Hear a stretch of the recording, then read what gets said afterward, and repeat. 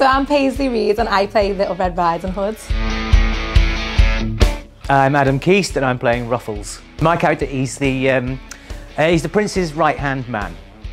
Uh, potentially the brains of the outfit, maybe. Well, we'll see how that pans out, but yeah. Uh, and of course, he um, uh, falls madly in love with the dame. Red Riding Hood, uh, she owns a bakery that her mother and father have left to her.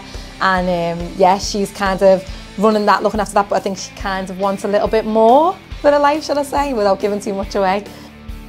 It's a rock and roll panto for a starter. So, you know, we're all with the band, and we're the actors, and we're the dancers. And this year there's another little extra twist to it, because we've got maybe some circus.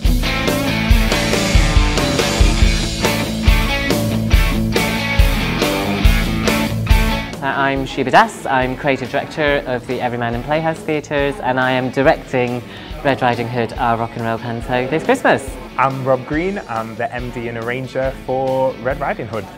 Total, full-on, hardcore musicality, so having amazing singers, uh, musicians, range of instruments, enabling audiences to get right up close and personal with people jamming out to fantastic rock and pop songs that they know and love.